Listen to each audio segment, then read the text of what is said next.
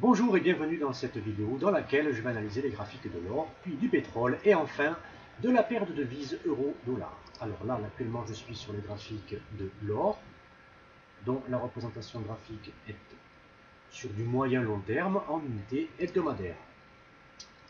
Voilà, donc la tendance, on le voit, est repartie à la hausse depuis début février 2016, avec cette formidable cassure de ce chandelier japonais courant début février 2016, qui est venu casser ce canal, cette droite oblique représentative d'un canal baissier, d'un long canal baissier.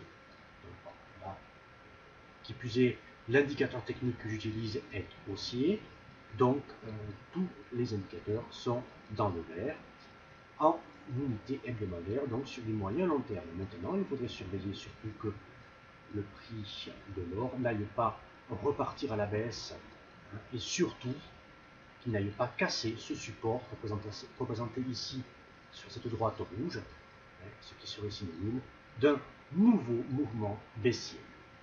Pour l'instant, donc, on va dire que l'or est en tendance haussière sur du moyen long terme.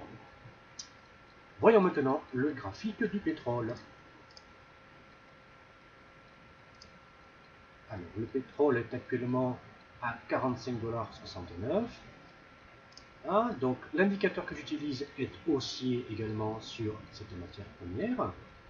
Hein, mais attention tout de même, puisque la tendance est clairement baissière encore, moins forte qu'auparavant, mais tout de même.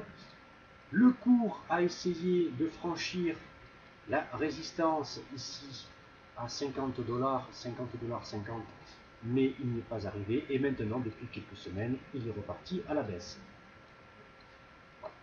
Donc euh, il convient de faire très attention sur cette matière première qui pour moi est, malgré que l'indicateur technique que j'utilise est haussier, hein, on dire que euh, je suis sceptique même sur la tendance à moyen long terme de cette matière première, du pétrole. Et enfin, maintenant, nous allons voir la paire de devises euro-dollar. Là, je vais aller voir le Forex.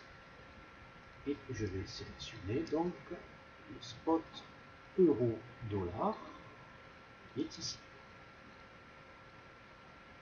Voilà. Donc là, je suis toujours sur, euh, un graphique en unité hebdomadaire.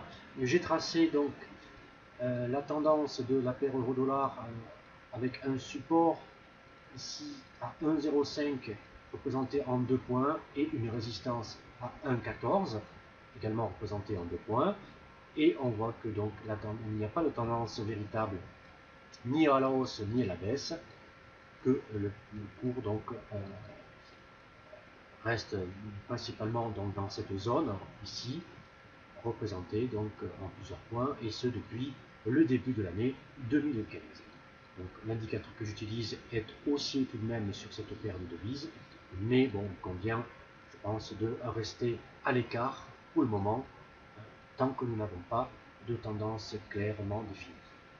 Voilà, je vous remercie d'avoir regardé cette vidéo et je vous dis donc à très bientôt. Au revoir.